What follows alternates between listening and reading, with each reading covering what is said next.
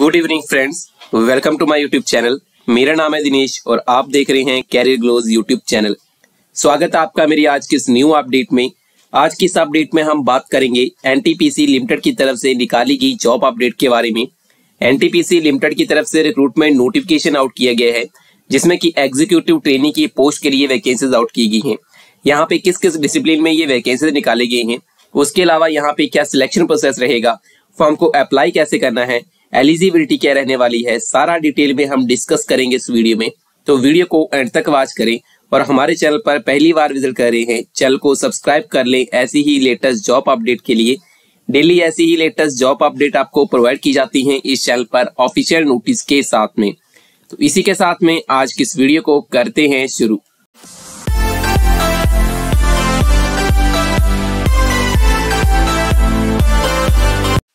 अगर हम यहाँ पे बात करें कि ऑफिशियल नोटिस की, आप यहाँ पे देख सकते हैं ये एनटीपीसी लिमिटेड की तरफ़ से निकाला गया ऑफिशियल नोटिस है, जिसका कि एडवर्टाइजमेंट नंबर आप यहाँ पे देख पाएँगे।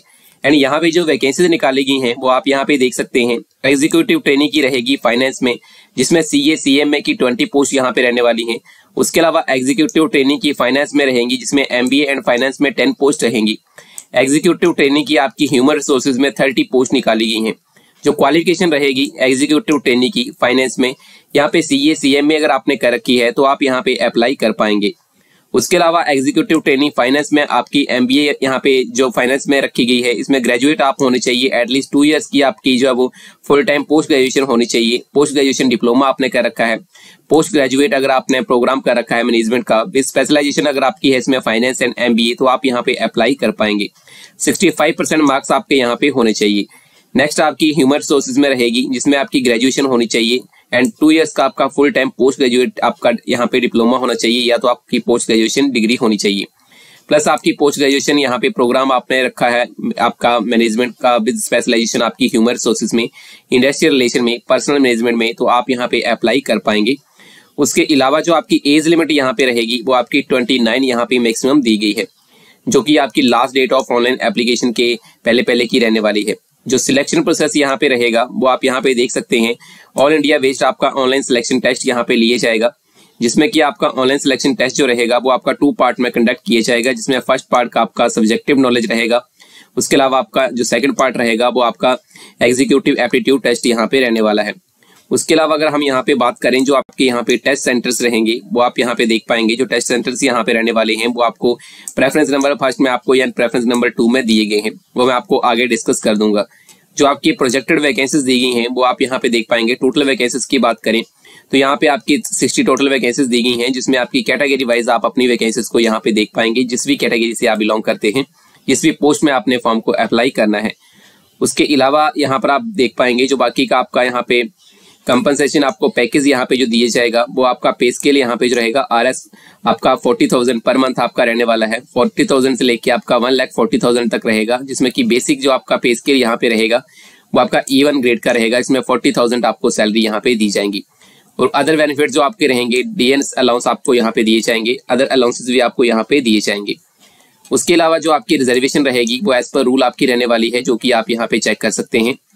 नेक्स्ट हम यहाँ पे बात करें तो यहाँ पर आप देख सकते हैं जो सर्विस बॉन्ड यहाँ पे रहेगा, वो आपका यहाँ पे आप देख पाएँगे जो आपका रहने वाला है, वो आपका फाइव लाख का रहेगा एंड आपका ढाई लाख का जो रहने वाला है, वो आपका यहाँ पे जो भी कैटेगरी बिलोंग करते हैं S C S T P D candidate से उनका यहाँ पे रहने वाला है।